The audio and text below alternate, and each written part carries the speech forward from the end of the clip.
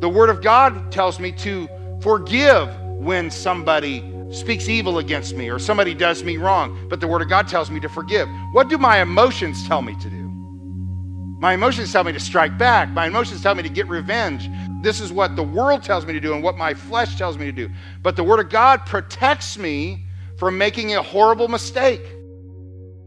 We are in Psalms 119 and we're going to look at verses 89 through 96. Now, if you were with us last week, you remember that we looked at 81 through 88. And 81 through 88 is the darkest part of this psalm. It is the middle of the psalm, and it is also the darkest part. And the psalmist is in a really bad place, and he's really struggling. And it is interesting to me that when he is at his darkest moment, uh, what then comes next is he chooses to emphasize and focus on the Word of God. And that's really what all eight of these verses are about. Every one of these little sections of Scripture, uh, which are the Hebrew alphabet kind of laid out, but every one of these sections of Scripture, uh, the theme is the Word of God. That's what this entire chapter is about. But this section in particular focuses on why the Word of God is so relevant to even today.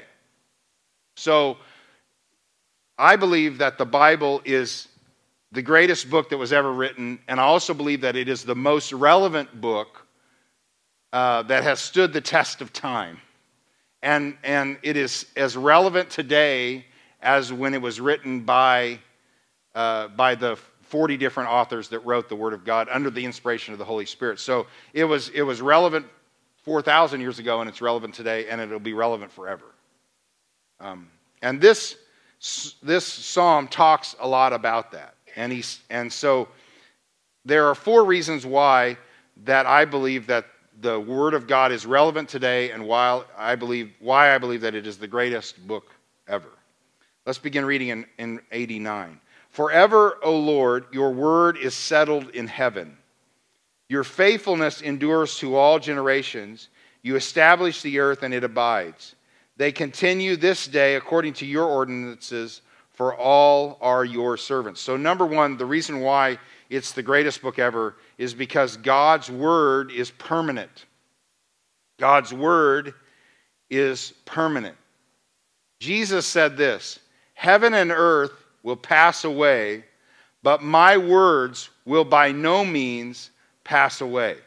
So, when we are engaged with God's word, when we are reading God's word, when we are, are understanding the principles in God's word, we are not reading something that is uh, will be here today and gone tomorrow. It is something that we we are engaged with that will last forever. Okay, so God's word is permanent. Now, what he does here is he says, he talks about the creation of God. He, he compares the Word of God to the creation of God. And there is a certain permanence or consistency to creation. For example, um, as long as I have been alive, and as long as I'm sure most of you have been alive, the sun has risen in the east and set in the west. Am I correct?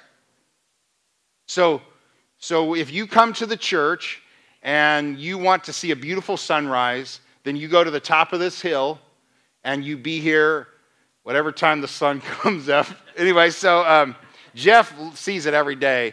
I do not, I'm not that dedicated. So, um, but he, uh, one of the things that Jeff will do is he'll come here early and he'll set out in his car and he'll watch the sun come up.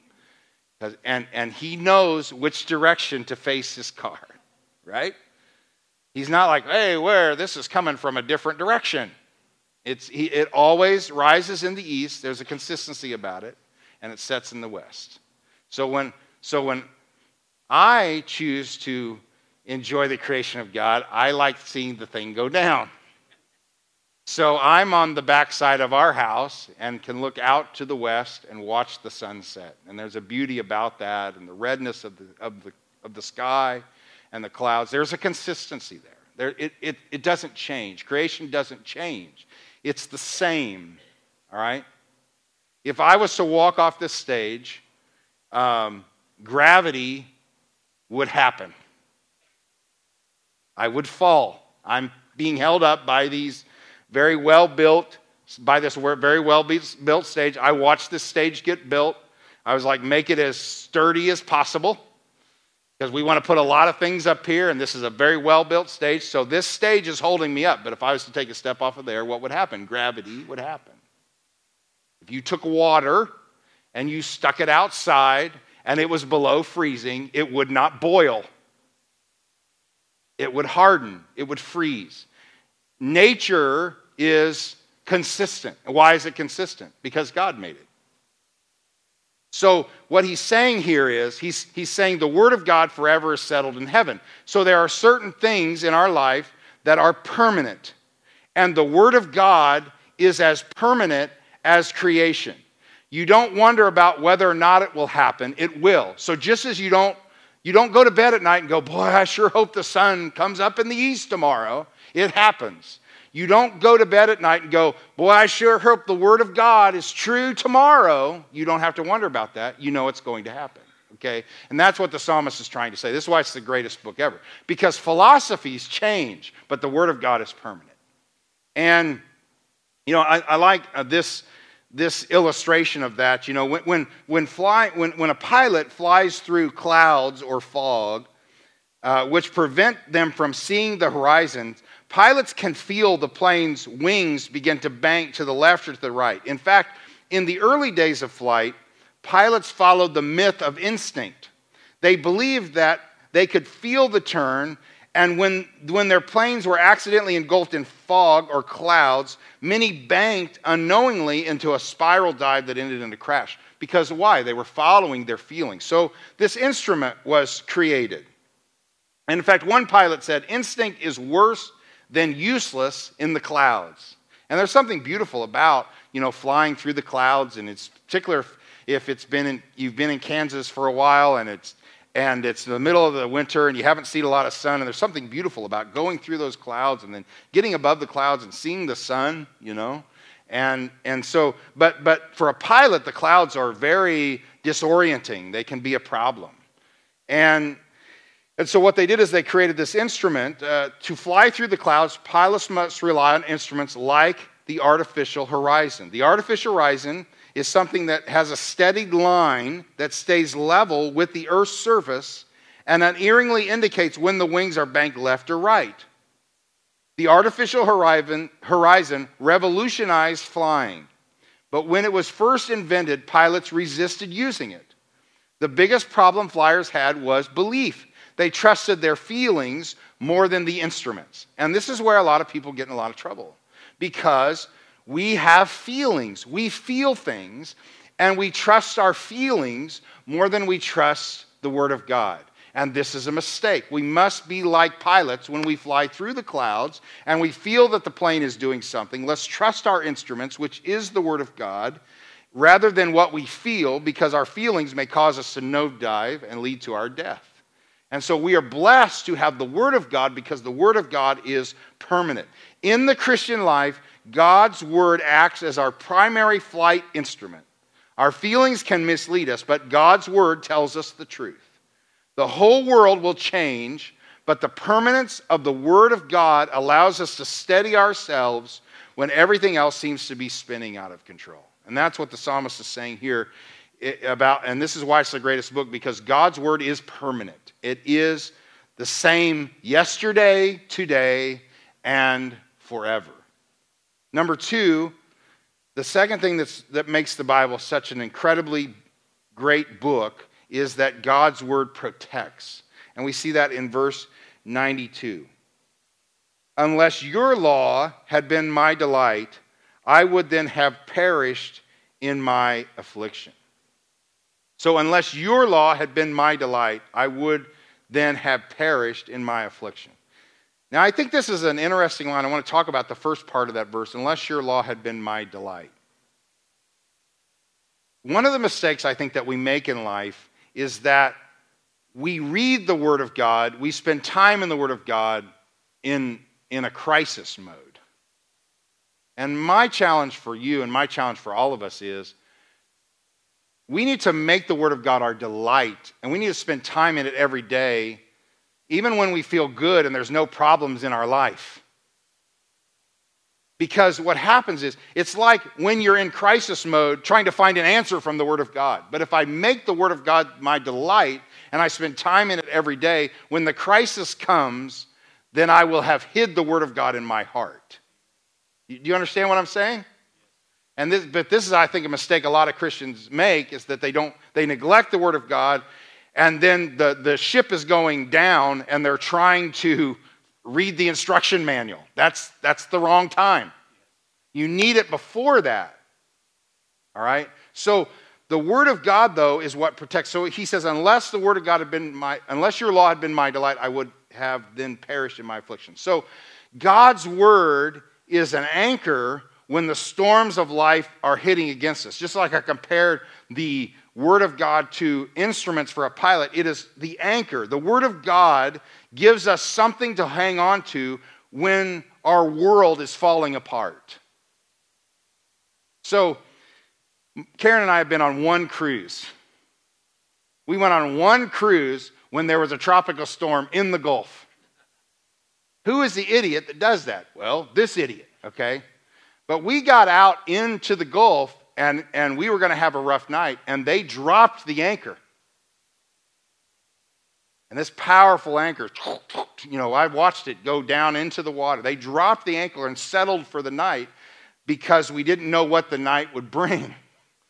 Needless to say, slept with one eye open that night. And I was hoping that that anchor was secure in that boat. Well, this is the great thing about the Word of God. The Word of God is our anchor.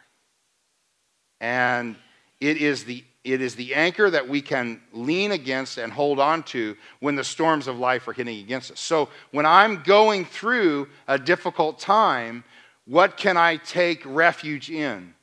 That all things work together for good to those who love God, right? So, I have these events happening in my life that I don't understand, but God's going to take these events and work them out for His good and His glory, and He is at work in my life, and He has not abandoned me. And where do I find that? In the Word of God. So that the Word of God protects me. Because what happens is, is when I'm afflicted, I want to do what is different than what the Word of God says. So the Word of God tells me to forgive when somebody uh, uh, speaks evil against me or somebody does me wrong, but the Word of God tells me to forgive. What do my emotions tell me to do? My emotions tell me to strike back. My emotions tell me to get revenge. This is what the word of this is what the world tells me to do and what my flesh tells me to do. But the word of God protects me from making a horrible mistake. Isn't that what our whole sermon series has been the last 3 weeks really as we've walked through 1 Samuel 25? And that is that Abigail shows up and she, and she says to David, Look, you will regret this for the rest of your life. This is not God's plan. God has a better plan for you. Do what God wants you to do. Forgive this man and move on with your life. And man, she, uh, her counsel saved David's life. Because what did David want to do? David wanted to take Nabal's life, but, but the word of God, in a sense, protected him. And he didn't have that hanging over his head.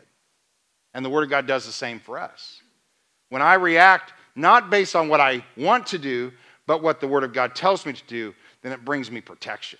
The Word of God protects. This is why it's the, it's the greatest book. It keeps us out of a lot of trouble. I, will tell you this I've never had anybody come to me in 20 some years of pastoring and have somebody say, you know what, I did exactly what the Bible says and I have a huge regret. Shouldn't have done that. It was a big mistake.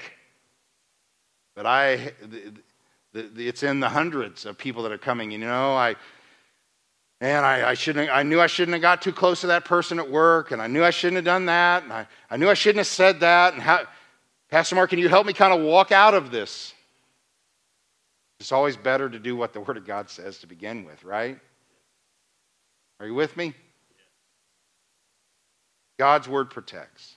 And if we'll just do what it says, it will protect us uh, in life. It will protect us from making horrible decisions. It will protect us. Boy, if we just do what the Bible says with our tongue, wouldn't we stay out a whole lot of trouble?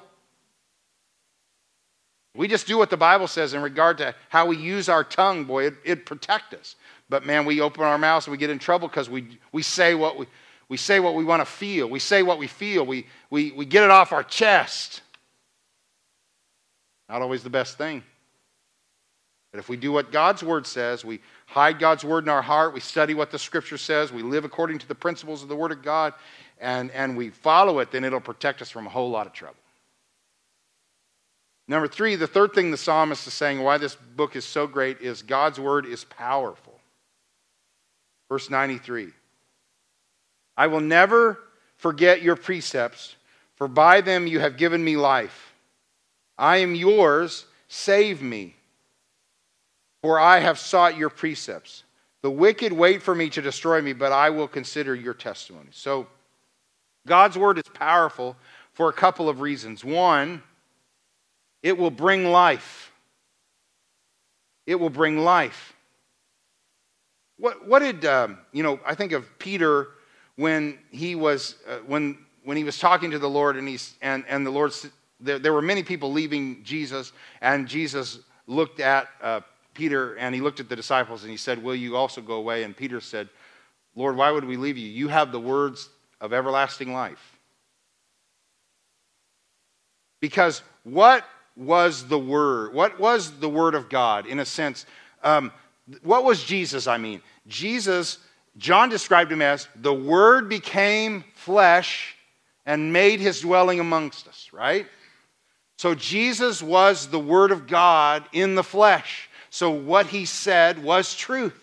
What he says was the word of God.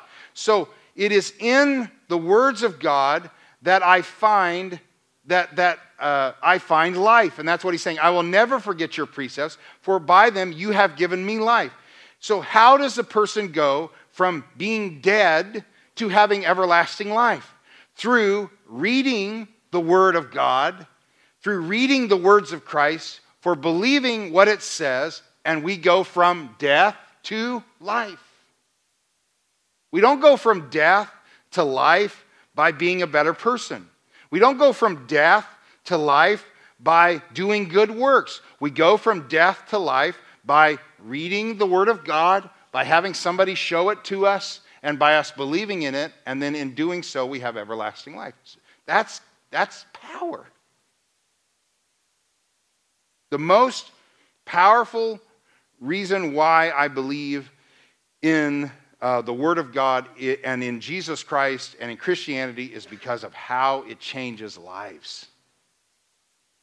It takes people that are radically this way and they are completely transformed by the gospel of Jesus Christ and by the Holy Spirit of God. So God's Word is powerful. This is why we emphasize the Word of God here. There's, there's, I have no power in and of myself. But if I stand here and say, Thus says the Lord, there's power in the Word of God. So all I'm giving you if I'm preaching uh, that's not in the Word of God is just advice. But when I give you the words of God, I am giving you an opportunity to have life and have it more abundantly, right? So that that's power. God's word is powerful. So he says, I will never forget your precepts, for by them you have given me life. Do you remember the day you got saved? Do you remember the day that your eyes were open to the fact that you're a sinner and in need of a Savior, and Jesus Christ was that Savior? And Jesus Christ died on the cross for your sins and gave his life for you. Boy, what a powerful moment, huh? How did that come? Through the Word of God through the Word of God. The Word of God has power that can change us. And that's why the psalmist said, I'll never forget your precepts. I am yours. Save me, he says, for I have sought your precepts. I have sought, uh, uh, in verse 94, the verb sought out means to consult, to inquire, to beat a path, to, uh, to re- read repeatedly. Here is a believer who beats a path to the Bible to read it over and over. He studied it. And when he had made a decision, when, when he had to make a decision, he consulted it carefully. Because why is this so important? Because philosophies change, political expedients fail, promises and contracts are broken, but the Word of God still stands. God's word is powerful. It will bring life and it will, it will help us make decisions that are beyond our years because we have, we have trusted in what God's word says. And then the last verse tells us that God's word is perfect. Now, the New King James reads this way He says, I, uh, it says, I have seen the consummation of all perfection, but your commandment is exceedingly broad. It can be a little bit confusing. I like the uh, English Standard Version a little better. I have seen a limit to all perfection, but your commandment is exceedingly broad. And what he's saying is, all human philosophies are finite, limited, and inadequate. But the Word of God gives us an adequate view of life and death, time and eternity. It gives us strength for living, grace for dying, and hope for eternity. So the Word of God is perfect. You know, I think that I think that men have come up with some really good forms of things, but nothing man has come up with is perfect. You know, our, our rule of law, so to speak, in our, our government is a pretty good form of government. Um, but what are we, 200 something years in? I know we're over 200. And it's and and you can you're you're beginning to see uh, some of the flaws or some of the problems with this form of government. Right? Because Initially, you got a, a, country that's governed by a bunch of people that love God. What happens to this form of government when you have a whole bunch of people that don't care about God? So, so as good as the founders were, you, I, I, I'm, I'm going to be careful here because it ticks people off when I say this, but as good as the founders were, they did not create a perfect document. The Constitution is not a perfect document. The Word of God is. And we should run to the Word of God and lean on it more than we run to the Constitution and lean on it. Because the Word of God's perfect. God's Word is perfect. Not down on the Constitution. I'm grateful for the Constitution. Pastor Mark is anti Constitution. No. I'm grateful for our country and I'm grateful for that. But, but it's just people will defend the Constitution and will say nothing about the Word of God. And that's, that's not right. Because the Word of God is perfect. And it helps me in every aspect of my life. So that's what the psalmist is trying to say. He says, I have seen a limit to all perfection, but your commandment is exceedingly broad. Man, it, it, it covers all of my life, not just part of my life. And it is, and it is perfect counsel and perfect advice in everything I do. So you hold in your hands or on your tablet, you hold in your hands the greatest book ever. Why? Because it's the Word of God. And what makes it so great? Well, it is what? It is permanent. Heaven and earth will pass away. This will never pass away. It is, it protects me. Well, there's a lot of things I want to do and the Word of God has kept me out of a lot of trouble. How about you? Could we not have testimonies all night about, well, I'm sure glad I did what the Bible said rather than what I wanted to do?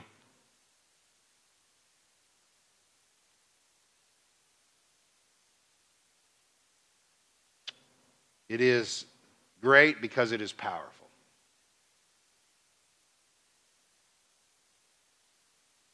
You know what I think the hope for the world is? Jesus Christ. I think the hope for the world is found in the contents of this book.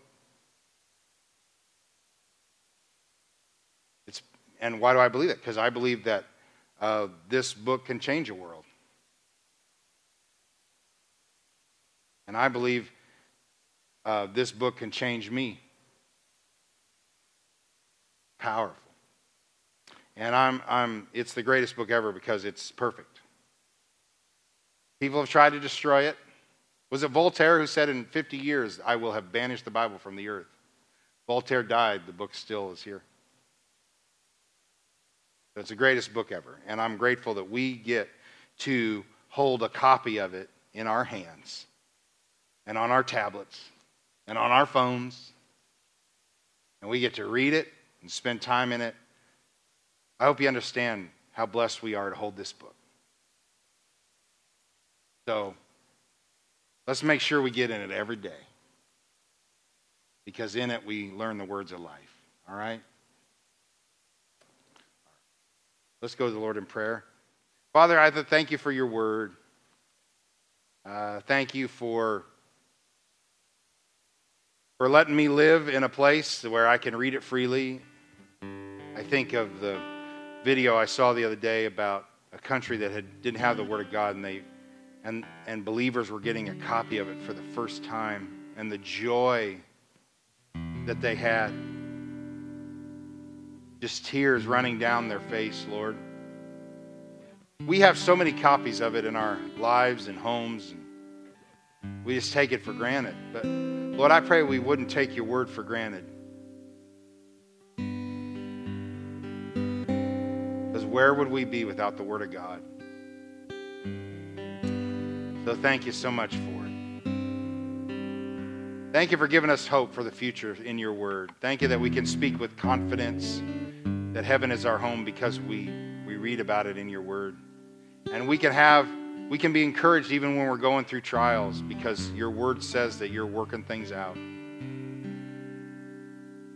And even when we feel alone, we know that you will never leave us nor forsake us. Thank you for all your word is. We're grateful for it. In Christ's name we pray. Amen.